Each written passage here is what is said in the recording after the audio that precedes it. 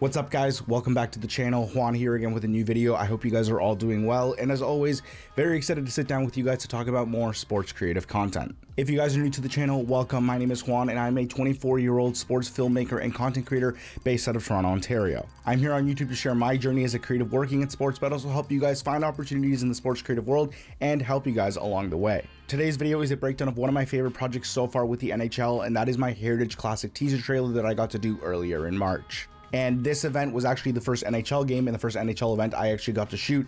So this is a video that I'm incredibly proud of and it was just such a fun experience to create. If you guys aren't familiar with what the Heritage Classic is, it is essentially one of these several outdoor games that the NHL hosts throughout its calendar.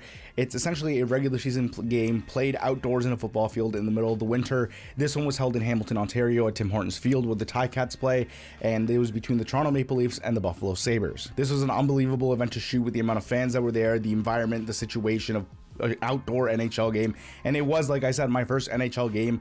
Been shooting sports for the last three or four years, and I have not gone to shoot an NHL game up until this one. So it was definitely one for the books and one I will always remember. But the video I got to produce ahead of the game is one of the things that I will just treasure the most from that experience. This was actually a piece I was able to produce, shoot, and edit by myself. And it was the first one I got to kind of head during my time of the NHL. So I'm going to really be able to go in depth on the way I shot and edited the piece, but also a little bit into pre-production and how I prepared ahead of time before shooting the actual video. This is not going to be a very technical or gear focused video because I really do just want to dive straight into it and kind of break down the edit, break down certain shots and why I did particular things when both shooting and editing. But I know people are going to ask anyways, so for the record, this was entirely shot on my Sony a7S III with a combination of handheld rig footage and some gimbal work. And then when it came to lenses, it was mostly just my 28 to 75 Tamron or my 70 to 200 Sony. This is also just going to be a more off the cuff video, not really scripted. I just kind of want to go into it, break it down, talk about certain shots, talk about certain scenarios, and just have this be more of an organic sit down chat about how I put this video together. Really quickly though, I'll bring up the video just so you guys can watch it before we break it down.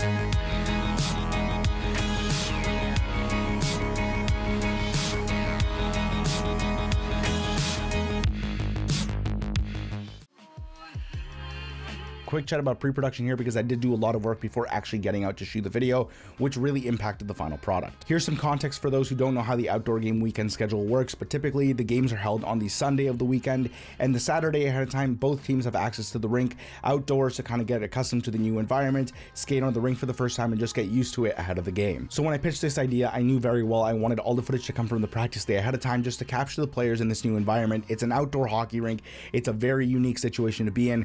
So I wanted all the footage to come from the practice day alone, and I didn't really want to lean on any broadcast footage from previous games from both teams because I feel like that for sports hypes is done all the time. But for an event like this, an outdoor hockey game, I wanted to just focus on the environment and the players being there for the first time. This was mostly to have control over the shots that I actually wanted and needed to get versus having to bother somebody and kind of direct someone remotely, but also just to give it a more cinematic and unified look by shooting it solely on one camera, which was the A7S III. When it came to shot listing this piece, apart from obviously shooting the players practicing and the action on the ice, I knew that the biggest part of this video was going to be the scenics and the establishing shots because of the location and the environment we were in. This is an outdoor NHL game, which is as unique of an environment as you'll ever find in any sporting event ever, and so I knew I really wanted to capture the essence of where it was and what it symbolized for the NHL, for the city of Hamilton, and just for the whole event itself. So establishing and scenic shots were right at the top of my list and some of the first things I shot that weekend, you know, shots of the venue, shots of the rink in the actual stadium, shots from the stands, uh, so many small details here and there to showcase a hockey rink in the middle of a football field. There are so many different ways you can showcase that in a very cinematic, artistic, and beautiful way, which was one of my biggest goals for this video. When it came to shooting the actual on ice action during the practice, it was a little hard to come up with a shot list because obviously you don't have much control in this scenario. You're kind of just a fly on the wall documenting what's happening on the ice, but I did make a mental note to get shots of specific players. Luckily, both the Leafs and Sabres have high profile players like Austin Matthews, Rasmus Dahlin, and Mitch Marner. So I was easy to kind of keep tabs on specific people, get ISO shots of them, uh, because obviously they're the stars of the game, but at the same time, uh, they're just people that are easily recognizable from both teams that would get a good reaction and good engagement in the video from fans. This is also one of the more unique sporting events I've ever shot purely because of the weather and the elements we were exposed to. We obviously shot this in the middle of the winter in Hamilton, and you'd expect a winter day in southern Ontario to be gray and overcast. But by the time the Sabres hit the ice, it was really sunny, clear skies, and incredibly bright outside. So we dealt with that harsh sunlight for most of the afternoon, but around 6 or 7 o'clock, golden hour came in, and you guys are going to see in the footage, it's just some incredible looking stuff with the golden soft light coming down during sunset unbelievable stuff. But then once again, we had to deal with the change in the outdoor scenario because when the Leafs got onto the ice a couple hours after, it was pitch black and we had to deal with floodlights and stadium lighting instead of natural sunlight. I actually really enjoyed having to work with so many different lighting scenarios and the elements because, you know, you go from that you know, really harsh sunlight in the afternoon to the beautiful golden hour right before the sun goes down.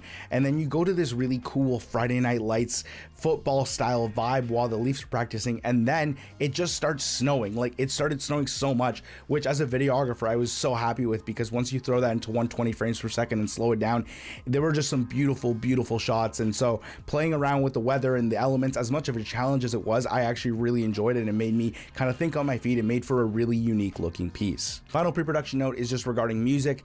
And if you guys have seen my breakdowns before, you know that I'm always going to stress, make sure you have your music or an idea of what kind of music you want to have before you shoot any video for several reasons. The biggest one being just having an idea of what the vibe and the flow of your video is going to be is going to really change the way you shoot on the day of and it'll really give you some idea of what visuals would go well with your final edit in mind. I know for these style of hypes and teasers I usually go for the very epic and drum heavy and you know cinematic style trailer music but with this I went with more of an electronic vibe, more chill, more funky, it has some synths to it, the beat was very dynamic, lots of highs, lots of lows, great interludes, building into a really nice like you know high energy section sections of the song, uh, which gave it a really free flowing, energetic, yet really focused vibe.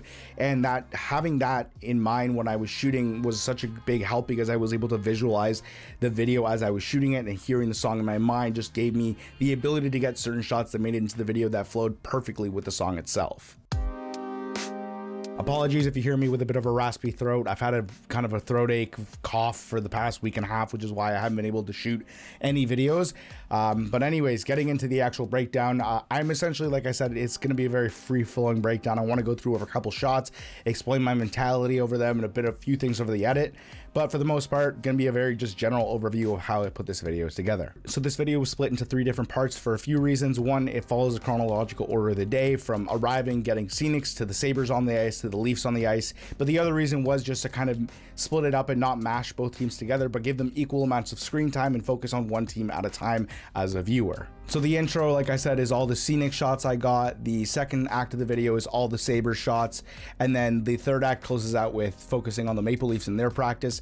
And I think this also really showcases those kind of different weather elements I mentioned before. So the beginning of the video, you see the sunlight, you see that kind of clear day, blue skies. Uh, in the second part of the video, you're starting to see more of that golden hour. You're starting to see more of that warmth. And then when it comes to the Leafs, it's all the floodlights. It's the Friday night lights kind of feel that I mentioned before. So it kind of separates it visually into three different parts as well. So the first part of the video I'm going to break down is the scenics and this is obviously a really important part that I mentioned in the pre-production section. Just because of the situation and the environment we're in it's so unique. It is literally a hockey rink in the middle of a football stadium. A really unique look. The NHL events team absolutely crushed it with how the rink looked and the whole stadium was dressed up. So I really wanted just to give it its spotlight at the beginning of the video to showcase this brand new and unique environment. I mentioned it before but this was mostly split between gimbal and handheld although most of the gimbal work was really just for the scenic moments here at the start. Uh, Uh, a lot of you guys know I have a love-hate relationship with those things, but they do come in handy, and it was the perfect tool to use to capture these amazing scenics of the actual stadium. Something I love doing with gimbals when getting scenics is adding movement, but also movement in the foreground, and you're gonna see it right here in this first shot with the chairs in the uh, in the stands. Just having them kind of disappear from the frame just gives it this much more kind of reveal style shot. I love the look of it. Having any movement in front of your lens is automatically gonna make your shot a lot more cinematic, a lot more pleasing to the eye, and that was exactly what I wanted to do with this first shot here. The next three establishing shots all go together because they're all stationary shots um, of very similar things. You have the wide of the floodlight, you have the Heritage Classic branding across the stadium, and another close up of the floodlights. But what really, the reason I made these stationary is because when the music picks up at around like the four or five second mark, I actually add movement into the shots again, which you'll see right here.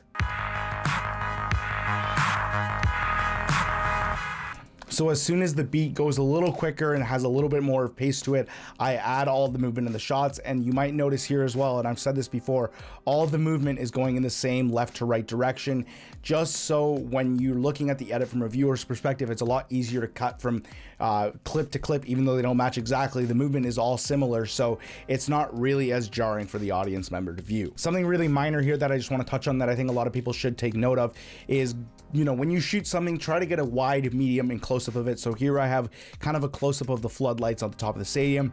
And then the next shot right after is a kind of a medium wide adding movement, but it's essentially just a different angle of what I was shooting before. And it's a lot cleaner of a cut. It's a lot easier to see. So whenever you're shooting scenics, try to get a wide, try to get a medium, try to get a close-up of those little details because you don't know when you're going to want to mix them in. And sometimes it can just lead to a much cleaner looking edit. So we're going to move on from here. We have all the moving shots, scenics, NHL logo there, the title card, which then signifies the end of that sequence and moving on to kind of the act two, which is the Sabres coming on to practice. The first sequence here for the Sabres is just them walking in, just a couple ISO shots still on the Ronin RSC2. I knew I wanted to get specific players, Okposo and Dahlin that you see these two guys here. Uh, made sure to ISO in on them. Uh, a lot of personality shown in this this practice because a lot of the guys are wearing sunglasses, they're letting the hair out because um, it was a nice sunny day. So really nice shot here, just tracking Dahlin walking up. One of my favorite shots of the day, to be honest. And the lighting was a little bit difficult to work here with, uh, mostly because they were backlit. The sun is kind of in the back corner here. This is around 5:30, um, you know, just right before the sun's about to set. But I honestly thought the rim lighting for both of them, the backlit, just gave a nice little rim lighting here on the sides of their jersey, gave the image a lot more depth versus just being flat lighting, which I really liked. And then here I switched to an inverse angle of Dylan Cozens who I'm just, again, following them into the arena. These were all shot at the exact same time. I'm just running around getting different looks. And you're going to be able to notice how drastic the lighting changes throughout the entire video uh, as I move around the arena and as the time of day changes. But yeah, just coupled these three shots together, very similar. A really small speed ramp here between Dahlin and Okposo, just to give it a bit more energy. I used speed ramps here and there in this video. Originally, it was full of speed ramps, and I just decided it was way too much. But there are a few of them here and there just to link shots together. This is essentially a very similar shot, so I tried to match cut it as best as possible. We'll move on to Cozens here, and then it's the guys actually getting onto the ice the reason for the ramp here very different shot moving in a different direction. So this kind of takes the edge off that cut a little bit but still kind of allows it to be more of a natural looking transition. One more thing about these two shots here and i think i showcase it better with Okposo here but it's just the framing and the composition of it. Framing and composition is something i'm really working on recently on my videos just to give them more of an aesthetically and cinematically looking style uh, you're going to see here Okposo is obviously framed to the right of the screen using the rule of thirds as an you know as a concept here uh, just to give him a little bit more breathing room ahead of time. It just looks like a better image versus just having him in the middle of the screen. Uh, just something you're going to notice here how I frame players specifically with the rule of thirds. Uh, they're usually on the left or the right side of the screen with a lot of you know face forward room, a lot of breathing room in front of them, uh, just to give more of an aesthetically pleasing image. Even with Cozens here, you're going to notice he is on the left side of the screen with a lot more breathing room, a lot more, you know, front empty space here, just leading to more of an interesting image. You get to see some of the floodlights, you get to see some of the stadium here, and then the main focus is obviously here on the right, but you have a lot of different elements that you normally wouldn't get if he was just smack in the middle of the frame. Next sequence here is a lot of the guys ahead of the skate laughing, having a good time before we get into the action. Another close up here. I use a lot of close ups in this one. Again, showcasing the emotion. I've talked about that in a lot of my videos before. Emotion is so important and so key in these videos. Rule of thirds applies here, although not as much because he's moving, but you can see he's framed to the left side of the frame. Empty space here. You get to see some of his teammates in the background also having a laugh. Uh, lots of depth in this image. Obviously, we're at a football stadium. This is probably on my 70 to 200, which really allowed me to use the depth and the distance in the background to create a really interesting looking image. This following sequence is just a lot of action shots, some speed ramping, lots of slow motion, just to kind of slow down the play, give it more of a kind of aesthetically pleasing and kind of poetry motion style feel to the practice. Really quickly want to talk about speed ramps here as I use them a lot uh, a few times to showcase particular moments and kind of things I want to highlight to the audience. In this case, this player gets a goal in the practice, nice little snipe over the goalie's shoulder. It is a very small space to score, and there's not much space between the goalie's glove, shoulder, and the corner of the net. And so as soon as he lets the puck go and it goes into the net, I drop it to 20%. Slow motion for the viewers to see how little space the player actually had to score a goal like that just a really nice kind of slow down moment. And I think with speed ramps all the time, and you'll notice it in this clip here too, you just really get to slow down moments and situations that at full speed you don't really get to take in entirely. You know, this save right here at full speed would have looked great, but it's even more impressive when I ramp it right as the puck goes into the glove. And it doesn't always have to be speed ramps, even here, just slow motion of this guy flipping the puck, have a lot of slow motion moving on here throughout the practice, and it just allows you to notice certain details, little things throughout the clip. Right here, Alex Tuch is pulling it between his legs, which was a nifty little move that you wouldn't normally catch in full speed. More detail shots here of just the skate and the sticks. This is something I love to do as a cutaway shot in hockey, just capture sticks, skates, things that aren't the player's faces just for transitional B-roll. So this next sequence is just of the Sabres getting off the ice. I do want to talk really specifically about this shot because I think this might be one of my favorite frames I've captured ever for several different reasons, which I'm about to get into. Number one, I think it was just the perfect combination of excellent lighting, perfect composition, and just the capabilities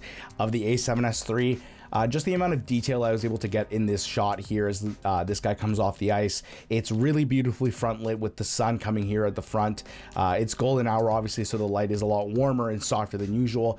And then just the A7S3 with the ability to get all this information with a dynamic range that S-Log 3 has. I'm able to capture, you know, the blue sky in the background. You have the floodlights of the stadium turning on. Um, but even when it comes to actually the subject itself, you have just a really beautifully front lit subject with the shadows not really harshly dropping off of him. Uh, and it's still very nice lit even to the back of the subject. And I love, love, love the amount of detail the camera was able to capture here. Uh, obviously, you know, the droplets of water on the front of the visor here, just like his facial expression. Uh, this is obviously an extreme close-up as well, and the composition worked really well here. Lots of breathing room in the front, lots of, you know, negative space with some elements that you can see here, but your focus is directly on the player. There's just, I, I know I just rambled on for like the last minute there, but I just think this is a beautiful shot that I was really happy with. Just visually, um, one of my favorite shots that's ever come out of the A7S3 that I've ever captured. Um, and it's definitely a highlight here. Uh, I really should have kept it on for longer, but just one of my favorite shots. And you'll see a drastic difference here. It's a very similar looking shot uh, to this one but not as much detail because I think I'd turn a little more and face the sun as Okposo was coming off. Um, and you're seeing a lot more flaring onto the side here the more I turn towards the sun, which also gives it a very unique look. But I just think the amount of detail that was captured here and the colors I was able to bring back out of it, just such an aesthetically pleasing shot. I could watch this one over and over and over again and not get tired of how beautiful it looks. Moving on to the third act of the video here, when the Leafs take the ice for their evening skate, and you're going to notice right away a huge change in the environment and the tonal shift here. Um, obviously, we are not in golden hour anymore. We are not kind of in the middle of the day with the harsh sunlight. This is getting into blue hour. This is right before the sun fully goes down. And so this lighting now changes from, you know, the natural sunlight to these floodlights at the top of the stadium. And I thought it just really gave a fantastic Friday night football style feeling the players still had fun with it, wearing sunglasses. We have Mitch Marner here, kind of, you know, smiling as he's walking in with some shades. So a very different vibe than the Sabres uh, skate, but I think it splits the video up very effectively into different visual sections as well. I really quickly just want to scrub back here to talk about these two shots here, which are kind of my establishing shots for the Leafs coming onto the ice. Uh, fun fact about these, these were actually shot kind of halfway through the practice. I just noticed one of the equipment managers' carts lying there with, you know, the logo and the text here, Toronto Maple Leaf Hockey Club, and also uh, practice jersey just laying here. So I just managed to get a couple quick shots of the cart and the actual jersey and put it at the beginning of the sequence just so people understand, all right, the Sabres are off the ice, the Leafs are now on the ice, this is a new part of the video, and we're gonna go and see what happens from here. You can even see it in this tunnel reveal shot, Toronto Maple Leafs right over the tunnel. So effectively with these three shots, I transitioned from the Sabres coming off the ice, and now you notice it's a completely different time of day, it's a completely different team just by using a cart, a jersey, and an entrance tunnel to kind of shift the gears on the video and introduce uh, this new set of characters and this new set of individuals in a completely new environment. So I want to break down these Leafs walk-in shots really quickly here because there's two things I do specifically to make these more aesthetically pleasing. Uh, number one, I'm shooting low to the ground and upwards towards my subject, and I'm also shooting into these lights right here. And I have made a video about this before, which I'll link down in the description. But one way to make your sport videos more cinematic is number one, if you can shoot low and a, a low angle up towards a subject, it just gives them a more powerful looking pose. Uh, they look bigger than life. You're, you know, they're kind of towering above you. And then shooting into the lights using a mist filter just gives these lights a lot more bloom. You can see kind of it flaring as they walk by it.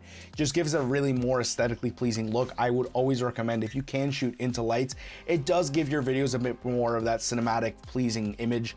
Uh, and again, these floodlights are fantastic. So the combination of squatting down next to them and shooting into the light just led for these really nice looking entrance shots uh, of the players and the coach. Moving on now to this sequence here with the Leafs practicing uh, a couple close-ups and ISOs of some of their stars, but I'm gonna hop back here to this first shot for a second. So we talked about weather before, and I think this is a perfect example to show how dynamic the weather was on this day and how unique it was to shoot because we went from a really sunny day to a really snowy evening and just this whole image here this is just an establishing shot I wanted to get because it encapsulated so much of what made this a unique environment. You have a literal football stadium in the background, a hockey rink with professional players practicing. You have the floodlights, the Friday night lights feeling I keep talking about. And then all the snow just falling in slow motion. It's just such a unique vibe and a unique look. It's just so kind of calming and peaceful, yet at the same time so cool to look at. So another one of my favorite shots in this video is just the snow falling onto Hortons Field uh, as we get into the evening. Moving on from the scenic shots, we have a lot of close-ups of the players, ISO shots, uh, just familiar faces for the fans to recognize. Here we have Tavares by himself, a close-up of his face, um, framed to the left side of the screen, very similar to the way I framed up the Sabres using the rule of thirds. Negative space up here, lots of breathing room. I'm actually shooting low up towards Tavares I just have my camera at like my stomach or my chest pointing upwards while he was by the bench. And again, this just gives that image of a larger than life persona. Uh, we even get a little bit of a light flare here, which is a nice touch just to add more detail, more interesting kind of elements to the shot itself. Moving on to Marner here, uh, very similar looking shot to Tavares, framed up to the left side of the screen, lots of negative space, lots of breathing room here. We have some snow as a nice touch, another element in this shot. Um, but the reason I want to talk about this one is because it directly mirrors one of the Sabre shots earlier when they came onto the practice. Marner's having a good time. He's laughing, he's smiling with his teammates. And here we have the Sabres at the beginning of their sequence, smiling, having a good time.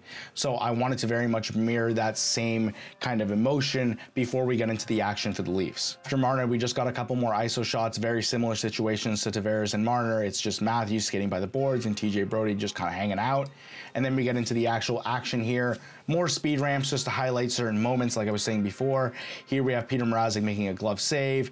Uh, a really nice close-up shot of someone's skates and the puck as they kind of carve around. More slow motion moments, more just highlighting little details here and there that you wouldn't normally notice at full speed. And the rest of the sequence just very much mirrors the Sabres sequence we saw before. Lots of slow motion, lots of speed ramps just to capture the players, the, the moments that you wouldn't normally see in, in higher speeds. It's definitely more of a slow paced edit, obviously, but we have Tavares here, we have Jason Spezza protecting the puck, uh, just a couple of ISOs of a couple of guys on the team. We have Matthews taking a shot, and it speed ramps right into someone else shooting. So there's two things here. Obviously, Austin Matthews is known for his shot, so just slowing it down here, you can see his stick flexing, you can see where he's looking you can see the puck come off his stick.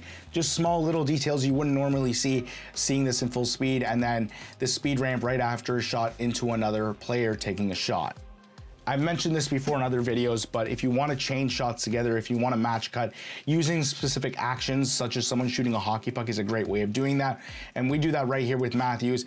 As soon as he shoots his puck, we have a quick speed ramp into someone else shooting a puck. Two very, very similar looking actions, different framing, but at the same time makes an easy transition because they're doing the same thing in back-to-back -back cuts. I love this shot of Mitch Marner here, low to the ground, a wide shot, not a close-up this time, so you can see a lot more of the environment around him. You see the back backdrop of the stadium. You see the floodlights, giving it a really nice aesthetic look. We have this shot of Ondrej Kase here, which is very similar to the shot uh, I got of the Sabres earlier that I was obsessing with. It's another close-up shot. You see the weather, you see the snow coming down on him, you see the reflections on the visor and the helmet of the lights. Just a really aesthetically pleasing looking shot, in my opinion, really sharp. I love the way this one turned out. And then here we have another cutaway shot of some skates, uh, just to break away from players' faces. I think people get kind of tired if it's just the same style of portrait shot for too long and too consistently back to back to back. So a nice little cutaway of some skates here. We have Tavares skating through the snow. We have a light flare here, just another really aesthetically looking slow motion image. Erik Källgren right here has the lights in the background, turning away from the camera, just a nice little slow motion moment. And then we have a William Nylander ISO here of him looking uh, into the distance. This is the last shot of the video. I realized at this point I had about five seconds left and I didn't have any William Nylander uh, ISOs or shots, so I decided to put him in here. And it's a really nice looking shot because he does have some breathing room here and then the light kind of refracts through the glass and kind of gives this glowing effect, so I really liked it. And then we end on the logo to end the video. And that does it for this breakdown of the 2022 Heritage Classic teaser trailer that I got to work on for the NHL. Truly just a project in a moment. I will never forget getting to shoot my first NHL event of any kind and just some of my favorite frames that I've ever captured because of the different situations, shooting a golden hour, shooting in the snow. There's so much in this video and I was glad I was able to sit down for you guys, kind of break it down shot by shot, explaining my mentality, explaining my decision making, and I hope you guys got something out of that. I know it was a very impromptu and kind of running gun breakdown, kind of just sitting down and going by the seat of my pants. But I hope you guys got something out of it. And as always, if you guys have any questions, feel free to leave them in the comments down below. Now, I know I didn't talk about color in this video, and a few people might be upset about that, but I just wanted to keep the runtime of this video as short as possible. I don't even know where I'm at in terms of my record time, but let me know in the comments down below if you want to see a color grading breakdown for this video. If there's enough interest, I'd be more than happy to do it. Also, speaking about color grading, if you guys are interested, my LUT pack will be going on sale for the next two weeks as of the release date of this video as a bit of a thank you and a celebration for letting me hit 2,000 subs, which was a milestone I hit a little while ago and I just never really got to properly say thank you. So for the next two weeks, you can find my LUT pack on sale. The link will be down in the description below. Also on sale for the next two weeks is my brand new Lightroom preset pack for my sports photographers out there. This is something I've been working on for a while and I'm really happy to finally release. Sports photography was a skill I really focused on improving over the last year and a half. And these three looks are just something I developed over time and people have been asking for them. So I'm really happy to finally share them with you guys as a celebration for 2,000 subs. And they will be, like I said, on sale for the next two weeks on my Sellfy store. All links will be down below. As always, thank you guys so much for watching today's video. If you made it to the end, I really appreciate it. If you guys enjoyed today's video, if you guys took something away from it, make sure to like it down below to help me in the algorithm. And if you're new here or you've watched my videos and you haven't subscribed yet, please consider doing so as I would really appreciate it. And that does it for today's video. So I will catch you guys in the next one. Peace.